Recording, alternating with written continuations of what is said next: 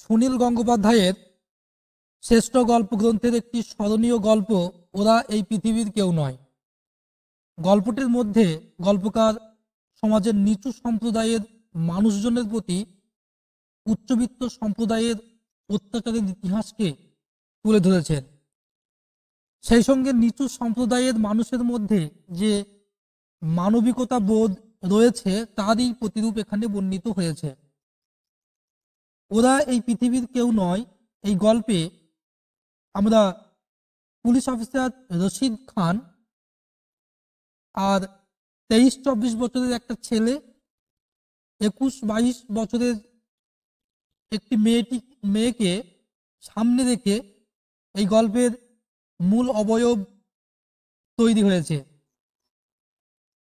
এই যে ছেলে এবং মেয়েটি, এরা হলো বেদে সম্প্রদায়ভুক্ত সমাজে বসবাসকারী মানুষ, যারা সমাজের চোখে অস্পৃশ্য, যাদের সাথে সমাজের তথাকথিত উচ্চবিত্ত মানুষজনের সাথে সম্পর্ক নেই। অথচ এরা মানুষের কাছ থেকে একটু ভালোবাসা পেলেই তার জন্যই সব কিছু করতে পারে। এই জন্য এদের মধ্যে আছে ভালোবাসা পাওয়ার আকুতি, পেট ভরার মতো একটু খাবার। পুলিশ অফিসার রশিদ খান এই দুজন ছেলে মেয়েকে যেখানে দেখতে পান, সেটা হচ্ছে একটা মেলার প্রাঙ্গণ। যে মেলা প্রায় শেষ হতে বসেছে। অথচ ছেলে মেয়ে দুটি দুজনে মিলে মেলায় গান করতে থাকে। এই গান শোনার পরে রশিদ খান তাদেরকে জিজ্ঞাসা করে যে, তোমরা কোথা থেকে তোমরা এই গান শিখেছ? মেয়েটি এর উত্তরে কি দিয়েছিল? বলেছিল, বাতাসের কাছ থেকে। আর ছেলেটি বলেছিল যে মানুষ যখন কাঁদে, তখন তার মধ্যেও গান থাকে। তাই নয় কি বাবু? রশিদ খান মাথা নিতে বলেছিল, ঠিক। এরপরেই রশিদ খান গান শোনার পর তাদেরকে টাকা দিতে চাইলে। তারা কিন্তু সেই টাকাটা নিতে চায়নি, অস্বীকার করে।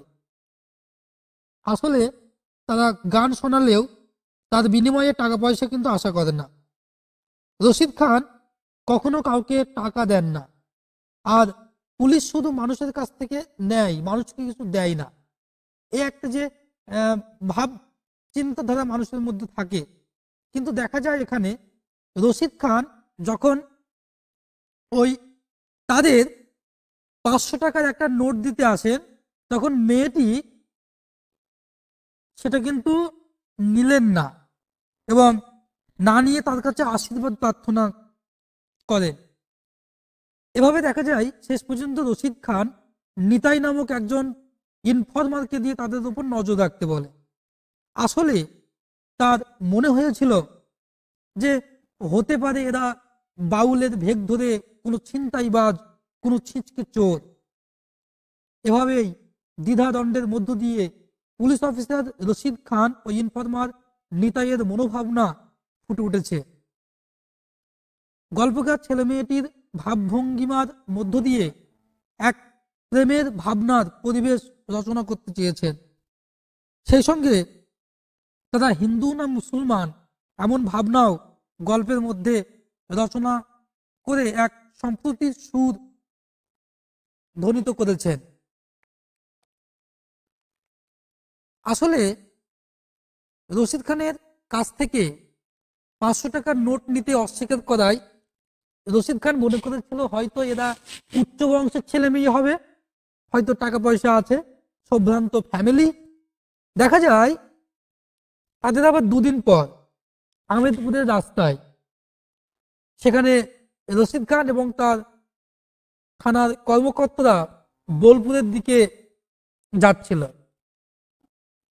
এবং তারা দেখছে ওই ছেলে মেয়ে দুটি হেঁটে চলেছে। যদিও তাদের এই অবস্থা দেখে রশিদ খান তাদের গাড়িতে উঠতে বলে। বৃষ্টি হচ্ছিল তখন। এমন অবস্থায় মেয়েটি তাদেরকে এমন এক কথা বলে যে, আমরা বৃষ্টিকে ডাকছিলাম। কখন বৃষ্টি আসবে? কখন বৃষ্টি আসবে? এখন বৃষ্টি এসেছে, আমরা যদি পালিয়ে যাই, বৃষ্টি রাগ করবে না? এই যে পাগলামি, এই পাগলামিটা দেখেও কিন্তু রশিদ খান অবাক হচ্ছে এরপরেই গল্পের মধ্যে মূল যে ক্লাইম্যাক্স সেটা কিন্তু রচিত হয়েছে। দেখা যায় ফেরার পথে রশিদ খান ছেলেটিকে গান করতে দেখলেও মেয়েটিকে দেখতে পান না এবং এই দেখতে না পেয়ে সে অবাক হয়। জিজ্ঞেস করলে ছেলেটি জানায় যে সে মরুভূমির মেয়ে, তাকে মরুভূমির মানুষরা নিয়ে গেছে। এখানে এই যে মরুভূমি শব্দ, এই মরুভূমির শব্দের মধ্য দিয়ে গল্পকার দয়াময়াহীন মানুষদের বুঝিয়েছেন। শেষ পর্যন্ত ছেলেটি রশিদ খানকে জানায় চার পাঁচজন জোয়ান মদ্যপান আসক্ত ছেলেরা এসে তার কাছ থেকে মেয়েটিকে কেঁদে নিয়ে যায়। মেয়েটিকে তার সর্বশক্তি দিয়েও সে রক্ষা করতে পারেনি। এরপর রশিদ খান জানায়, কেন? এই খবরটা সে তাকে জানায়নি। আসলে সাম্প্রতিক কালে নারী হরণের ঘটনা খুব বেড়ে গেছে। গল্পকারের ভাষায়, মেয়েটি তেমন কিছু রূপের জেল্লা না থাকুক, শরীরটা তো বাঁকাচোরা নয়, সুস্বাস্থ্যের একটা দীপ্তি আছে। ওই সব লোকেদের চোখে সে শুধু লোভনীয় নারী মাংস আসলে গল্পকার সমকালীন সময়ে ধর্ষণ, রাহাজানি খুব বেড়ে গিয়েছিল। সেই ভাবনা থেকেই এমন গল্পের সূচনা। তবে শুধু কি সেকেলে, একালেও সে ধারা কিন্তু বহমান। ছয় সাত বছরের মেয়ে থেকে শুরু করে বৃদ্ধাকেও ধর্ষণ করে খুন করার রেওয়াজ আছে, থাকবে। এখন আমরা পেপার পত্রিকায় পাই। ধর্ষণকারীরা রক্তের স্বাদ অনুভব করে, এমনকি ধর্ষণের পর বিক্রি করে দেয়। মেয়ের শরীর দেশে বিদেশে তারা চালান দিয়ে থাকে। এমন ঘটনার পর রশিদ খান, রশিদ খানের ছেলেটির ছেলেটির উপর রাগ হয়। কেননা সেই খবরটা থানায় জানায়নি কেন? এমন কথা শোনার পর ছেলেটি জানায়, সে এখানেই ফিরে আসবে যে, এখানেই ফিরে আসবে। যারা জোর করে তাকে ধরে নিয়ে গিয়েছে, যদি বাঁধন ছিটতে না পারে, তাহলে সেই বাঁধনের মধ্যে সে ডুব দেবে। ছেলেটির মুখে এমন কথা শুনে রশিদ খান তাদেরকে রোমিও জুলিয়েট ভাবতে থাকে, ঠিক উইলিয়াম শেক্সপিয়রের সেই কাহিনীর মতো। সেই সঙ্গে তাদের সম্পর্কের যে আধিক্ষাতা তিনি ব্যঙ্গ করে থাকেন, শেষ পর্যন্ত দেখা যায় হেতমপুরের এক পৌর বাড়ি থেকে আটচল্লিশ ঘণ্টা আগে সেই বাউল সঙ্গিনীটিকে উদ্ধার করা হলো। এরপর রশিদ খান মেয়েটির উপর অত্যাচার হয়েছে কিনা যখন জানতে চায়, মেয়েটি জানায় যে শরীরটাকে যদি কখনো মনে করা যায় এটা আমার নয়, তখন কে কি অত্যাচার করল, না করল, তাও তো বোঝা যায় না। তখন শরীর হয়ে যায়, দেহ, তার কোনো সারা শব্দ নেই। মেয়েটির মুখ থেকে এই উচ্চাঙ্গ জ্ঞানের কথা শুনে রশিদ খান অবাক হন। শেষ পর্যন্ত রশিদ খান মেয়েটিকে ছেলেটির কাছে নিয়ে গেলে তারা পরস্পরকে জড়িয়ে কান্না করতে থাকে। আসলে ছেলেটি বলেছিল, মানুষের কান্নার মধ্যে গান থাকে না তাজ প্রমাণিত। ছেলেটির কণ্ঠে উচ্চারিত হলো, চক্ষু ভরে দেখছ রে মন, চক্ষু কিন্তু মন দেখেনি। জীবনের এমন বিপর্যয়ের পর যে ভালোবাসা অটুট থাকে, মানুষের মধ্যে গান আসে, তাই এই ছেলে মেয়ে দুটি না দেখলে অনুভব করা যেত না। এদের ভালোবাসা দেখে অবাক হয়ে রশিদ খান বলে ওঠেন নিশ্চিত ওরা এই পৃথিবীর কেউ নয়। ওরা এই পৃথিবীর কেউ নয়, একটু বেড়াতে এসেছে। ইচ্ছে করলেই ওরা এই মরুভূমি ছেড়ে চলে যেতে পারে যে কোনো সময়ে। সম্পর্কের দৃঢ় বিশ্বাস, বন্ধন এই ছেলে মেয়েটির জীবনের চালিকা শক্তি, যার জন্য শত বেদনার মধ্যেও তারা গান রচনা করতে পেরেছে। বাউল মরমিয়া, সাধকের প্রেমহীন দেহ ভাবনা এখানে যেমন প্রতিফলিত হয়েছে তেমনি সমাজের পিসাচ তুল্য মানুষদের নারী হরণ, নারী পাচার, নারী ধর্ষণকারীর অকথ্য অত্যাচারের ইতিহাসকে তুলে ধরে গল্পকার বাস্তব জীবনের দৃষ্টিভঙ্গির পরিচয় দিয়েছেন। সেই সঙ্গে সম্পর্কের বিশ্বাস, ভরসা ভরসা সেটাই আসল। ছেলে মেয়েটির সম্পর্কে বন্ধনের মধ্য দিয়ে গল্পকার তেমন বার্তায় দিয়েছেন। স্বাভাবিকভাবে বলা যায়, ওরা এই পৃথিবীর কেউ নয় এই গল্পের মূল ভাবনাটি পাঠক সমাজে সমাদর লাভ করেছে।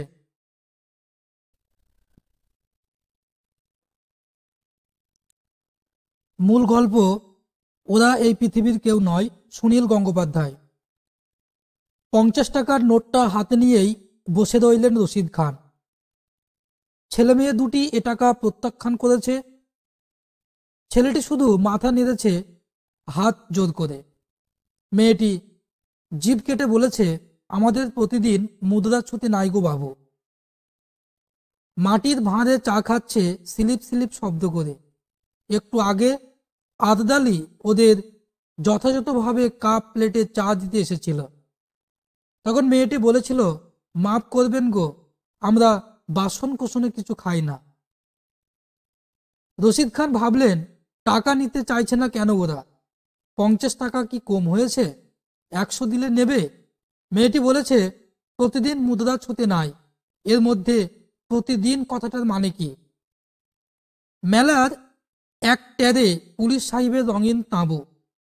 এর নাম সুইস কটেজ। খানিক আগে একবার টহল দিতে বেরিয়ে রশিদ খান এই দুইজনকে দেখতে পান। দুজনেরই বয়স বেশি না, ছেলেটির বয়স তেইশ চব্বিশে মেয়েটি একুশ বাইশ। দুজনের মুখে এখনও লেগে আছে কৈশোরের লাবণ্য। এলা মাটিতে ছোপানো একজনের ধুতি আর পিরান, অন্যজনের শাড়ি, দুজনেরই মাথার চুল চুরো করে বাঁধা। সরকারিভাবে মেলা শেষ হয়ে গেছে গতকাল।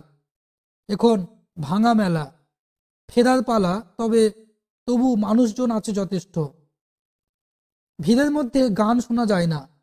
নানা দিকে, নানা অ্যাম্পলিফায়ারের ক্যাকোফোনি তাই রশিদ খান ওদের ডেকে এনেছেন নিজের তাঁবুতে।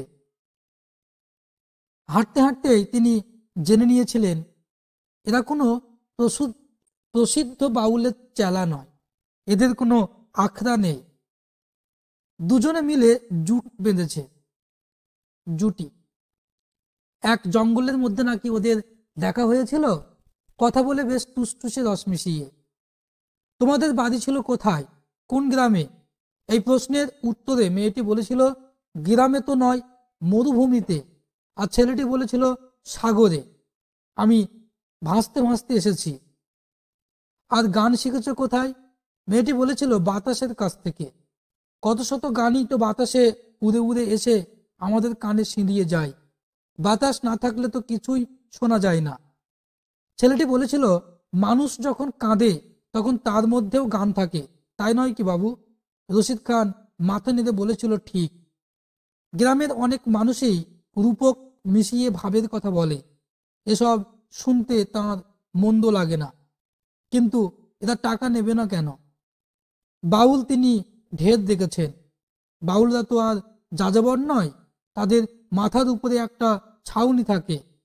স্ত্রী, পুত্র, কন্যা নিয়ে একটা সংসার থাকে। টাকা পয়সা, বর্জিত জীবনযাপন করা তাদের পক্ষে সম্ভব নয়। কারোর কারোর মধ্যে কিছুটা ভোগ বাদ ঢুকে গেছে, তা অস্বাভাবিকও নয়। এই তো কিছুদিন আগে এক বাউল তার ছেলেকে বিদেশে পড়তে পাঠাবে বলে পাসপোর্টের জন্য তার কাছে সাহায্য চাইতে এসেছিল। যেখানেই বাউল গান শোনাতে যায়, সেখানে কি তারা কিছু টাকা পয়সা আশা করে না? খুব বিনীত ভঙ্গিতে দরাদরিও করে। টেনে যেটা গান গায়। রশিদ খান কখনো কাউকে ভিক্ষে দেন না। কেউ গলায় কাছা বেঁধে, করুণ গলায় অভিনয় করে বাবার শ্রাদ্ধের জন্য সাহায্য চাইতে এলে তিনি বলেন, যে ছেলে অন্যের সাহায্য নিয়ে বাবার শ্রাদ্ধ করে, তার বাবার আত্মার মুক্তি হয় না। ভূত হয়ে ফিরে আসে। তা জানো না? কিন্তু ট্রেনে কেউ গান গিয়ে ভিক্ষি করলে রশিদ খান সবসময় কুড়ি তিরিশ টাকা দেন তাকে। এটা ভিক্ষে নয়, একজন সংগীত শিল্পীর দক্ষিণা। চা খাওয়া হয়ে গেছে, ছেলে মেয়ে দুটি এবার বিদায় নেবে। রশিদ খান ঝোঁকের মাথায় একটা কাণ্ড করে ফেললেন। অনেকেই বলে তাদের মধ্যে তার কয়েকজন বন্ধুও যে পুলিশ শুধু মানুষের কাছ থেকে নিতে পারে কোনো মানুষকে কিছু দেয় না। যে কথাটা হঠাৎ মনে পড়ায় তিনি একটু হাসলেন, তারপর পকেট থেকে পাঁচটা বার করে পঞ্চাশ টাকার নোটটা ঢুকিয়ে বার করলেন, একটা পাঁচশো টাকার নোট। সেটা বাড়িয়ে দিয়ে তিনি বললেন, এটা নাও, তোমাদের কাজে লাগবে। এবারেও ছেলেটি হাত জোর করে মাথা নাড়তে নাড়তে পিছিয়ে গেল। মেয়েটি বলল, মাফ করেন গো বাবু, আজ আমাদের মুদ্রা ছুতে নাই। ঈষৎ বিরক্ত হয়ে রশিদ খান বললেন, আজ ছুতে নাই মানে? আজ তোমাদের কোনো ব্রত আছে? মেয়েটি হাসিতে মুখ ভরিয়ে বলল, না গো, ব্রত ট্রত কিছু নাই, আজ আমাদের মন ভালো আছে। বেশ, মন ভালো আছে, কিন্তু কিছু খেতে তো হবে, খিদে তেষ্টাতে তো থেমে থাকে না, তাই না? মন ভালো থাকলে ক্ষুধা তৃষ্ণা তেমন গায়ে লাগে না, কিছু খেলেও হয়, না খেলেও চলে। তা না হয় বুঝলাম, কিন্তু কাল যদি মন ভালো না থাকে, তখন যে হু করে ক্ষুধা তৃষ্ণা বেড়ে যাবে। আপনি আশীর্বাদ করেন গো বাবু, যেন কালও আমাদের এমনটাই মন ভালো থাকে। এরপর আর কথা চলে না। রশিদ খান গুম হয়ে রইলেন। নমস্কার জানিয়ে ছেলে মেয়ে দুটি তাঁবু থেকে নিষ্ক্রান্ত হয়ে গেল। কয়েক মুহূর্ত পরেই রশিদ খান গা ঝাড়া দিয়ে উঠে হাঁক দিলেন, নিতাই নিতাই আদদালি নিতাইকে ডাকো। প্রায় সঙ্গে সঙ্গেই নিতাই এসে উপস্থিত। নীল রঙের হাফ হাতা জামা ও ধুতি পরা। তার সরু গোফের মতন চোখের দৃষ্টিও ছুঁচলো। সে একজন আধা পুলিশ, অর্থাৎ ইনফরমার পার্ট টাইম কাজ করে। রশিদ খান বললেন, নিতাই, তোমাদের আমি একটা ডিউটি দিচ্ছি। এই যে ছেলেটা আর মেয়েটা বেরিয়ে গেল, তুমি ওদের খুব ডিসক্রিটল ফলো করবে। দেখবে ওরা কোথায় যায়, কি খায় কাদের সঙ্গে মেশে রাত্রিরে কোথায় থাকে? এখন কটা বাজে? পৌনে আটটা। রাত বারোটা পর্যন্ত এই ডিউটি আমি সব ডিটেলস চাই। নিতাই কুতকুতে ধরনের হাসি দিয়ে বললেন, আপনি স্যার ঠিকই আন্দাজ করেছেন। এদান্তে কিছু ছিনতাইবাজ আর ছিঁচকে চোর মাঝে সাঝে বাউলের ভেগ ধরে থাকে। এমন অ্যাক্টিং করে যেন ভাজা মাছটি উল্টে খেতে জানে না। আপনার স্যার অভিজ্ঞ চোখ। রশিদ খান বললেন, বটে, সেরকম কাউকে তুমি চেনো নিশ্চয়? নিতাই বলল, তা তো আলবাত চিনি। কয়েক বেটাকে ধরিয়ে দিয়েছি। আপনার নিশ্চয় মনে আছে, স্যার, গত মাসে এক ডাকাতির আসামি আবার ধরা পড়ল। একবার পুলিশের ভ্যান থেকে লাফিয়ে পালিয়েছিল। সে বেটাও তো আলখাল্লা পরে ঘাপটি মেরেছিল এক বাউলদের থেকে আমি আমি থেকে আঙুল দেখিয়ে বললাম, রশিদ খান জিজ্ঞেস করলেন, এই ছেলে মেয়ে দুটো সেই দলের?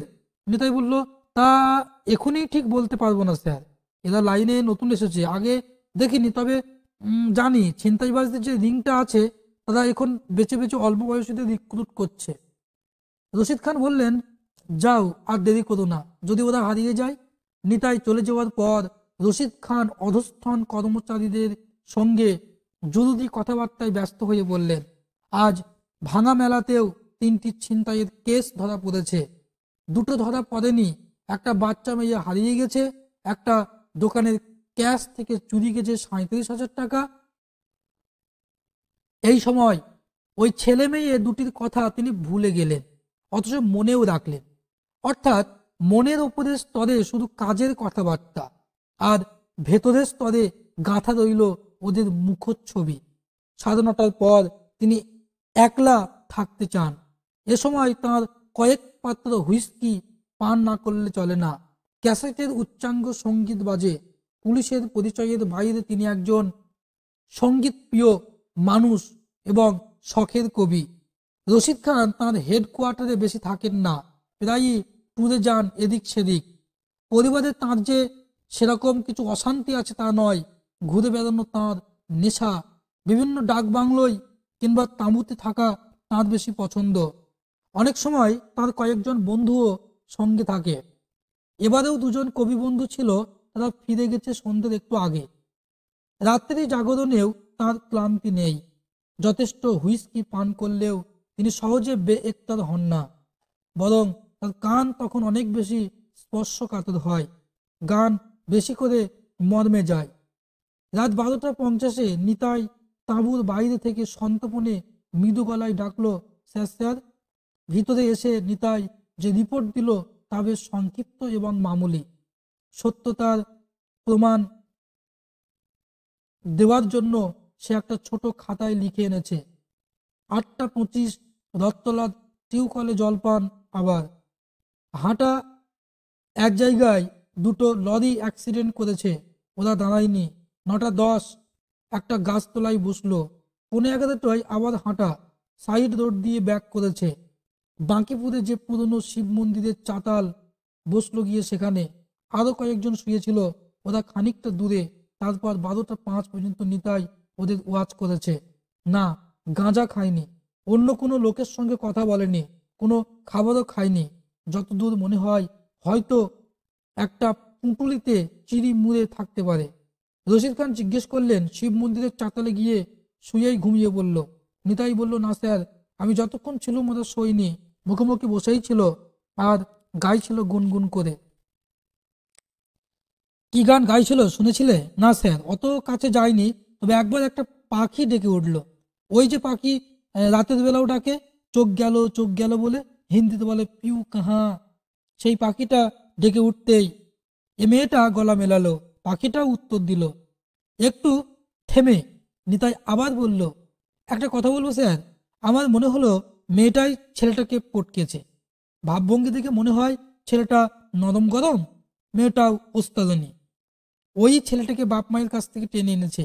এখন হিন্দু আর মুসলমান হলেই গন্ডগোল হতে পারে। এইসব প্রেম তো পাবলিক পছন্দ করে না। একবার বক্রেশ্বরে এক গোয়ালদের মেয়েকে নিয়ে এক মুসলমান ছেলে পালিয়েছিল। রশিদ খান হাত তুলে নিতাইকে থামতে বললেন নিতাই তবু বলল, স্যার, কাল আবার ওদের ফলো করব? যদি জাতপাতের গন্ডগোল থাকে, রশিদ খান বললেন, এসব নিয়ে তুমি বিনোদ চ্যাটার্জির সঙ্গে কথা বলো। আমাকে আর কিছু রিপোর্ট করার দরকার নেই। রশিদ খান ওই ছেলে মেয়ে দুটি সম্পর্কে আগ্রহ হারিয়ে ফেললেন। জাতপাতের ব্যাপার নিয়ে তিনি মাথা ঘামাতে রাজি নন। পাঁচশো টাকার নোট নিতে অস্বীকার করার জন্যই তিনি ওদের সম্পর্কে কৌতূহলী হয়েছিলেন। হয়তো ভালো বংশের ছেলে মেয়ে, হয়তো জমানো টাকা আছে। ওরা যে গান গেয়েছিল তা আহামরি কিছু নয়, মাঝারি গোছের বলা যেতে পারে। রশিদ খান তেমন কিছু বাউল গানের ভক্তও নন। দু তিনখানা বেশি শুনতে চান না, একঘেয়ে লাগে। তার মন মজে আছে মার্গ সঙ্গীতে। সুতরাং ওই বাউল যুগলকে মনে রাখার কোনো কারণ আর রইল না। দুদিন পর তিনি ছেলে ও মেয়েটিকে আবার দেখতে পেলেন আমেদপুরের রাস্তায়। সারা সকাল, আকাশ মেঘে কালো হয়েছিল। শোনা যাচ্ছিল গুরু গুরু শব্দ। সূর্যকে দেখা যায়নি। দুপুরের পর শুরু হয়েছে বর্ষণ। আকাশ যেন পুকুর ঢেলে দিচ্ছে। গাড়ি নিয়ে বোলপুরের দিকে যেতে যেতে তিনি ড্রাইভারকে বললেন থামো। বৃষ্টির মধ্যে দিয়ে হেঁটে যাচ্ছে ছেলেটি ও মেয়েটি। বৃষ্টির জন্য কোনো ভ্রুক্ষেপই নেই। জ্যোৎস্নার মধ্যে বসন্ত বাতাসেও মানুষ এভাবে হাঁটতে পারে। জানলা দিয়ে মুখ বাড়িয়ে রশিদ খান বললেন, এই ভিজছ কেন? উঠে এসো উঠে এসো। দুজনেই হাসি মুখে তাকালো তার দিকে। হাত তুলে নমস্কার করল। রশিদ খান আবার বলে উঠলেন, এই ওঠো গাড়িতে উঠে এসো। ছেলেটি বলল, কেন সাহেব? আমাদের হাঁটতেই ভালো লাগছে। রশিদ বলল, তা বলে এভাবে ভিজবে? অসুখ করবে যে?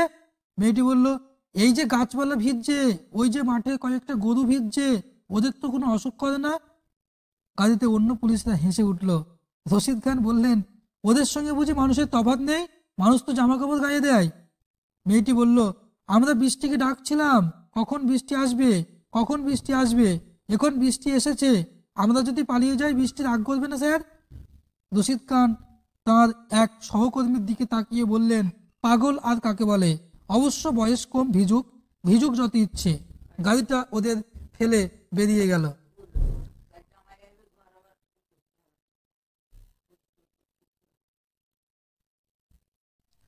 দিল্লি থেকে একজন বেশ বড় গোছের ভিআইপি আসছেন শান্তিনিকেতনে। তার নিরাপত্তা ব্যবস্থা নিখুঁত করার জন্য রশিদ খানকে এখন প্রায়ই আসতে হচ্ছে এদিকে। যাওয়া আসার পথে আমিরপুরের রাস্তাতেই আবার দেখতে পেলেন ছেলেটিকে। এক বিকেল সায়ান্নের আলো আধারিতে। গোপীযন্ত্র বাজিয়ে গান গাইছে। এক গাছতলায় নির্জনে ড্রাইভারকে গাড়ি থামাতে বললেন, খানিকটা এগিয়ে গিয়েও গাড়িটা আবার পিছিয়ে এলো। ওরা কি খায়? কেমন করে খাওয়া জোটায় ওদের? এটাই তিনি জানতে চান। ওদের দেখেও ছেলেটি গান বন্ধ করল না। রশিদ খান ধারে কাছে কোথাও মেয়েটিকে দেখতে পেলেন না। অথচ তাঁর মনে হয়েছিল, ওরা অবিচ্ছেদ্য। তিনি এখন ব্যস্ত। তাই গান শেষ হওয়ার অপেক্ষা না করেই তিনি জিজ্ঞেস করলেন, ওহে, তোমার সঙ্গিনীটি কোথায় গেল? সেই যে মরুভূমির মেয়ে ছেলেটি গান থামিয়ে ভক্তি ভরে নমস্কার জানিয়ে মৃদু গলায় বলল, সে তো এখানে নেই, তাকে মরুভূমির মানুষরাই তো নিয়ে গেছে। রশিদ খান বুঝতে না পেরে বললেন, মরুভূমির মানুষরা মানে ওদের বাড়ির লোকজনরা? ছেলেটি বলল, না গো বাবু, মরুভূমির মানুষরা যাদের হৃদয়ে দয়া, মায়া কিছু নেই। এবারে অস্থির হয়ে খানিকটা ধমক দিয়ে বললেন, এই রহস্য ছাড়ো তো, সোজা কথাই বলো। কারা নিয়ে গিয়েছে? জোর করে। ছেলেটি বলল, চার পাঁচজন জোয়ান মর্দ মনে হয় যেন তারা পাতালের প্রাণী। হাতে লাঠি সোটা সবলে নিয়ে গেল। রশিদ খান বললেন, মেয়েটাকে কেঁদে নিয়ে গেল? তুমি কিছু বলতে পারলে না? ছেলেটি নিরুত্তাপ গলায় বলল, অতজনকে রুখবো, সে শক্তি তো ভগবান আমাকে দেননি। আপনি থাকলে পারতেন? রশিদ খান বুঝলেন এ প্রশ্নটা করা তাঁর উচিত হয়নি। এ ছেলেটাকেও যেন যে খুন করে দেখে যায়নি, সেটাই কিন্তু আশ্চর্যের। কখন এটা ঘটেছে? ছেলেটি বলছে, এই আজকের দিনটা গেল। এই হ্যাঁ বলছে, এই আজকের দিনটা গেল কালকে রাতে। তার পরের দিন যখন শুরু, সবেমাত্র পাখি ডেকেছে। তুমি এর মধ্যে আমাকে খবর দাওনি কেন? আগে আমি এ জায়গা ছেড়ে যাই কি করে? সে যখন ফিরে আসবে, তখন যারা আমাকে খুঁজে পাবে না? রশিদ খানের চোয়াল শক্ত হয়ে গেল। ফিরে আসবে? ওরা আর ফিরে আসে না। নারী হরণের ঘটনা সম্প্রতি বেড়েছে। মেয়েটি তেমন কিছু রূপের জেল্লা না থাকুক। শরীরটা তো বাঁকা চোরা নয়, সুস্বাস্থ্যের একটা দীপ্তি আছে। ওই সব লোকদের চোখে সে লোভনীয় নারী মাংস। আজকাল গাছতলায় নিচে প্রতিক্রিয়াও ঘুমোয় না। ধরে নিয়ে গিয়ে শুধু ধর্ষণ নয় তারপর খুন করে ফেলাটাই এখনকার রেওয়াজ। ছ সাত বছরের মেয়েটিকেও ধর্ষণ এরা করে, তাতেও এরা আনন্দ পায়। আনন্দ টান কিছু নয়, সে বোধ যাদের থাকে, তারা রক্ত দর্শন করে না, ধর্ষণের পর বিক্রি করে দেয়। অনবরত জ্যান্ত মেয়ে শরীর চালান দিচ্ছে দেশ বিদেশে। প্রথমে ছেলেটার ওপরেই খানিকটা রাগ হলো তার। এ ছেলেটা এত অপদার্থ কেন? শুধু কাব্য করলে চলে? সঙ্গিনীর নিরাপত্তার কথা না ভেবে মন্দিরের চাতালে কিংবা গাছতলায় শুয়ে থাকছে, এ তো ওদের লোভ দেখানো। তিনি কর্কশ গলায় বললেন, থানাতেও খবর দাওনি? শুধু এখানেই বসে থাকলে চলবে? ছেলেটি বলল, আমার তো অন্য কোথাও যাবার উপায় নেই। সে এখানেই ফিরে আসবে যে, এখানেই আবার দেখা হবে। যারা জোর করে তাকে ধরে নিয়ে গিয়েছে, তাদের হাত জড়িয়ে সে ফিরবে কি করে? ফিরতে তো তাকে হবেই। যদি বাঁধন চিনতে না পারে, তাহলে বাঁধনের মধ্যেই সে ডুব দেবে। ধরো, যদি সত্যিই সে ফিরে না আসে, বললাম তো বাবু, কোনো বাঁধনই তাকে ধরে রাখতে পারবে না। শরীরটা পরে থাকবে, কিন্তু সে আর থাকবে না সেখানে। আর তাই যদি হয়, তাহলে সে খবর আমি ঠিক পেয়ে যাব। এখানে বসে বসেই পাবো বাতাস শুনিয়ে যাবে। তখন আমি আর এখানে বসে থেকে কি করব? এই খাঁচা থেকেও পাখিটাকে উড়িয়ে দেব। মানে সেও মারা যাবে। রশিদ খান মনে মনে বললেন এ যে দেখছি এ যুগের রোমিও জুলিয়েট, আদিক্ষেতা আর কাকে বলে? তারপরেই তিনি তার সহকর্মীদের দিকে ফিরে তীব্র ঝাঁঝের সঙ্গে বললেন, বিনোদবাবু, আপনারা কি করতে আছেন? প্রায় প্রত্যেক দিনই যে একটা দুটো করে মেয়ে তুলে নিয়ে যাচ্ছে। বিনোদবাবু বললেন, স্যার, এফআইআর তো কেউ করা হয়নি। আরও গলা তুলে রশিদ খান বললেন, জেনারেল সিচুয়েশন যে এত খারাপ হচ্ছে, সেটা আপনারা দেখবেন না। এফআইআর নিকুচি করেছি। ক্রাইম হওয়ার আগে প্রিভেনশনও বুঝি পুলিশের কাজ নয়? সেসব বুঝি ভুলে গেছেন? শুনুন, আমি আপনাদের ঠিক আটচল্লিশ ঘণ্টা সময় দিচ্ছি। এর মধ্যে মেয়েটাকে খুঁজে বার করতে হবে। আগে দেখুন, কাছাকাছি তার বডি পাওয়া যায় কিনা। যদি না পাওয়া যায় ওয়েল অ্যান্ড গুড তাকে কোথাও আটকে রেখেছে পাচার করার জন্য। সেই সব গ্যাং এর যে কোনো একটাকে ধরুন। আপনারা চেনেন, আমি জানি। ওরা একদমই মেয়েগুলোকে অনেক দূরে নিয়ে যায় না, থেমে থেমে যায়। ওদের অনেক হাউড আউট থাকে। রেল পুলিশকে অ্যালার্ট করুন বর্ধমান আর মুর্শিদাবাদের এসপিদের মেসেজ পাঠান, আমি বেশি রাত্রে তাদের সঙ্গে কথা বলব। পুলিশ অনেক কিছু পারে অনেক কিছু পারে না। পুলিশ অনেক কিছু পারে না, আবার অনেক কিছু পেরেও যায়। যা পারে না, তা বোধ হয় পারতেও চায় না, আর যা পারতে চাই তা পেরে যেতে দেরি হয় না। আটচল্লিশ ঘণ্টার একটু আগেই সেই বাউল সঙ্গিনীটিকে উদ্ধার করা হলো হেতেমপুরের এক পৌর বাড়ি থেকে। মৃত নয়, জ্যান্ত। সঙ্গে আরও সাতটি মেয়েকে। টেলিফোনে খবর দেওয়া হলো রশিদ খানকে। অন্য মেয়েদের থানায় রেখে এই মেয়েটিকে নিয়ে আসা হলো তার কাছে।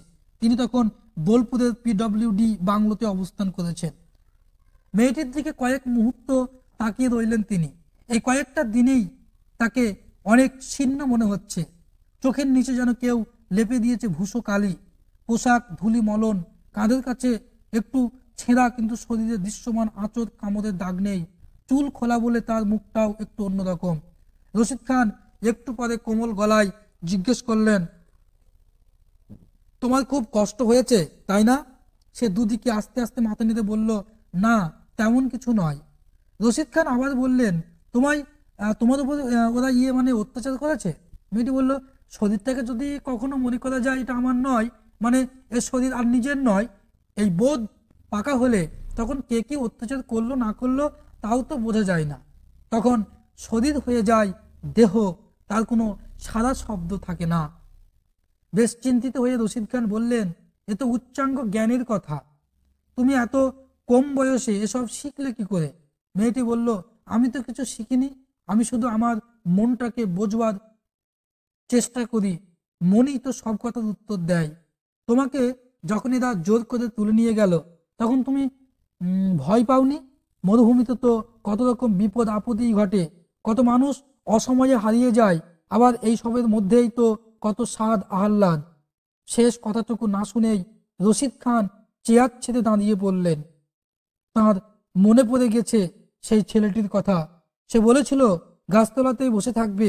আরও বলেছিল বাতাস তাকে দুঃসংবাদ দিলে সেও এই পৃথিবী ছেড়ে চলে যাবে।